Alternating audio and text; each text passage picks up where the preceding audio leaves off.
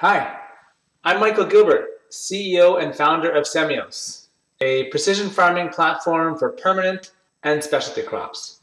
We have over 2 million sensors deployed on farms and reporting every 10 minutes into our database, which then run through our artificial intelligence or AI modules. Today's topic is why AI is the essential implement for finding the needle in the haystack. Now let's get started.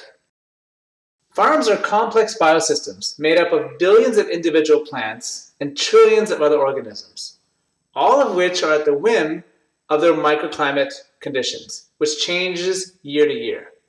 Managing the type, the timing, the amount, and the location of chemical inputs is a constant battle for growers. In addition, farmers are trying to meet the demands of consumers, distributors, regulators, and the ecosystem all with decreasing availability of labor, water, and chemicals. The complexity of their decisions is now compounded as regulators in the EU are demanding a 50% decrease in pesticide use, while consumers want increasingly higher quality foods.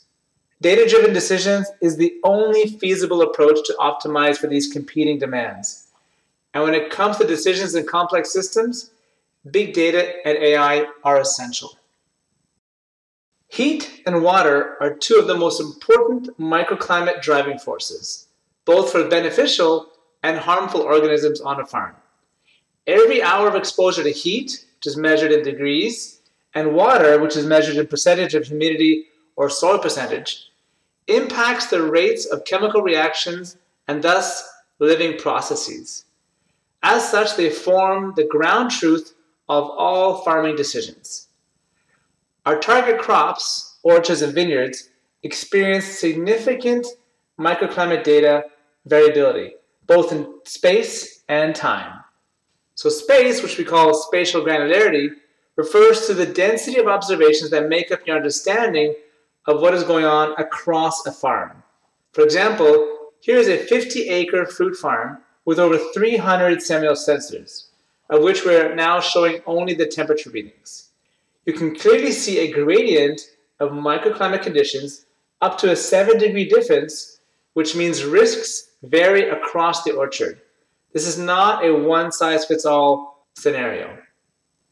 Similarly, looking at humidity, you can see a similar gradient. So across this 50 acre orchard, we can see a difference in relative humidity of up to 20% at one given time. Again, not a one size fits all scenario. And beyond spatial, we can also look at temporally granular data, which means conditions over time, which are also critical. As every biological process occurs as a result of exposure to heat and water over time. So the number of minutes or hours of exposure are critical to understanding risk. So here's an example of humidity conditions changing over a 15 hour period. When we start at midnight, you can see the gradient goes from about the low 70s to 80 as we go into the morning. So at 3 a.m., the humidity increases to now mid 80s. And then right before the sun rises, it peaks at just so between 80 and 90% humidity.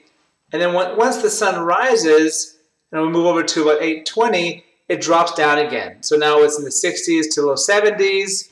By mid morning, it's now in the mid 50s to 60s. After lunch, we're now in the high 40s. And then by mid-afternoon at 3 o'clock, we're down to the low 40s. So you can see how understanding how long a process has been exposed to, say, humidity of 60 to 70% requires temporally granular data to understand. Now, in addition to these ground truthing microclimate data, we can add complementary data sets. And there are many of them available, some that we collect and some that our customers collect, which we then combine. So here's an example of a data set we collect. It's pest count data. So we have traps in the field that record the level of insect activity on a daily basis. So on the left side, you can see these are the trap counts for a given day, and you can see the locations of where the insects were caught. And then the customer can quickly switch gears and see how many insects they caught over the entire season on that same location. And you can start seeing trends as to where these insects tend to collect, and this is often then correlated back to the ground truthing data of water and heat over time and space. But one of the things that is a common sore point with growers is it's all too much data. We've heard it over and over again, data overload. Way too complicated, and for growers, it's difficult to find a return on their investment or ROI. This explains why so many great innovations in ag have not seen the level of adoption expected. Yet at Semios, with our granular data, we've been doubling our sales every year we enter the market, and we now manage over a billion dollars of crops. And that's all thanks to the combination of granular data and artificial intelligence. And now let me walk you through some of the examples of how we do that. So we start with, on the left side, our ground truth data, so water and heat across space and time across all our farms.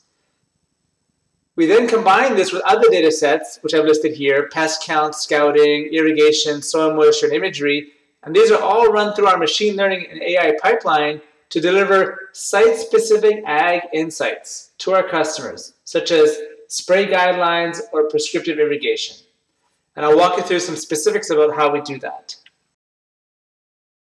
So here's an example of pest counts, so insect counts over time. And in this case, we're representing time on the x-axis as degree days. Next, we would look at um, a different season. So that was a previous season. The next season, we can overlay them. And as you can see, you can normalize these pest counts using degree days that are collected right from the farm. And there are always like differences year to year, which will explain also why you tend to have a lot of variability when you use non-AI decision making. Now currently, what happens in industry is they take some of these data sets and they apply them to predictive models that are standardized for and generalized for all growers. And although helpful, when you base your spray timing, which is the green bars, uh, you will have often limited success, as most growers do not fit into that average. So taking our granular data and applying that to these models, we actually create new models which are site-specific. And these curves of insect activity will differ from what you'd expect from a generalized model. And as such, we can then create optimized spray timings, which often vary significantly from what they would get from a generalized model. And then using our spray timing now, which is more correlated to the actual insect activity, you actually manage to get better results with less chemical inputs. And because this is built through a pipeline of machine learning and AI, we can actually create site-specific models on every farm we manage based on their own data. So what you get is, for even for a given season, even and the, the generalized weather conditions on the area are the same, the site-specific data leads to different spray timing recommendations on every single farm. Switching gears to water management on farms. With an impending water scarcity crisis on the horizon and water conservation efforts, we can expect tighter water restrictions going forward. Thankfully, over the last few decades, there have been many great innovations in water management technologies, such as soil moisture sensing and irrigation system monitoring. Yet, we've seen limited adoption at scale.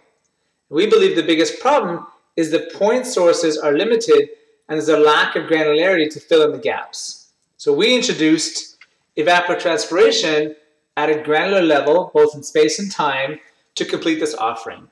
And when you combine these data sets into our machine learning and AI pipelines, we can deliver site-specific prescriptive irrigation plans. What this means is you can now optimize for tree stress with minimal water. And in doing so, the farmer sees a clear ROI and will increase their adoption rate of the combined technologies. Coming back to our original question, simply put, we believe that AI is absolutely essential to processing the large amounts of spatial and temporal ground truthing data sets, which in combination with the smaller data sets will drive the ROI for the grower. And this will unleash the potential for ag tech to optimize food production and meet the demands of consumers and regulators alike. Thank you for your attention and have a great conference.